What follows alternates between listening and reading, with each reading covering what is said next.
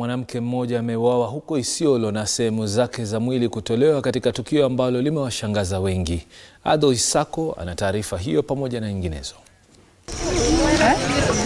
Wakazi wa kijiji cha Kiracha kambi ya juu katika kata ya Waso huko Isiolo waliamkia habari za kustajabisha baada ya mwili wa mama mmoja kupatikana ukiwa umekatakatwa. Kulingana na wenyeji hao, viungo tofauti vya mwili wake vilikuwa vimekatakatwa na kutolewa mwilini. Hali hii imewatia hofu wenyeji kwani ni mauaji ya tatu ya aina hiyo katika eneo hilo katika kipindi cha chini ya mwezi mmoja. Akithibitisha hayo, chifu wa Waso James Chuchu ametoa wito kwa wenyeji kuwa waangalifu. Ningeimisha wananchi wapeane, wao wanapeana ripoti kwa incident ikitokea kama hii, wanakuwa wanakuwa civilians ili tuweze kukabiliana na wale wanafanya hii maafa.